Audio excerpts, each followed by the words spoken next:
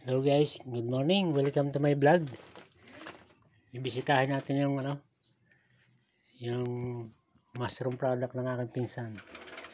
Manguha ka ba? Hindi ah, mag uh, bibidyo lang din eh.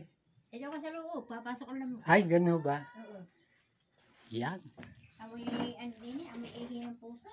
Ay, Naihi din ng puso. Hindi makakapasok dyan sa loob eh. yan ang gaganda oh. Ma, namumunga na po siya.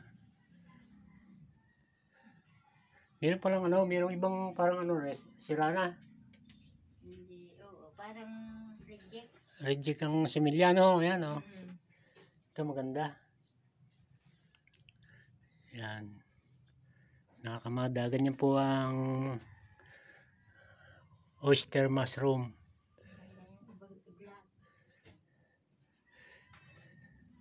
Oh, cute. Ang cute.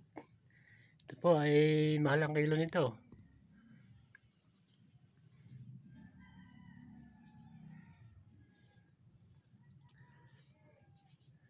Oh. Yung isa po, ah, parang bagong kasa pa lang ito.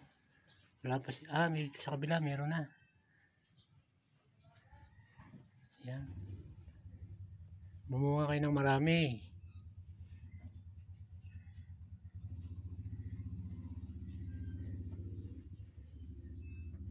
Meron na po siyang ito po yung ano similya ng oyster oh.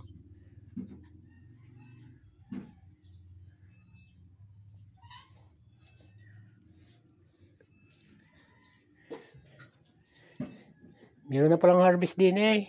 Hmm? Meron na akong harvest. Kinuha ko nga yan. Ay, oh. Magdala ka, pauwi ka yata.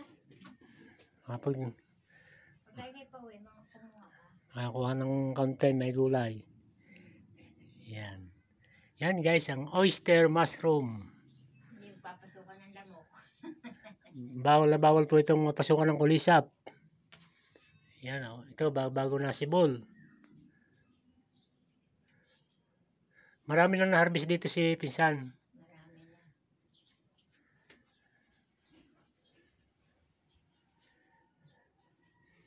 Are, pwede nang harvestin ho siguro ano. Basta buka na. Malakad na. Pwede na.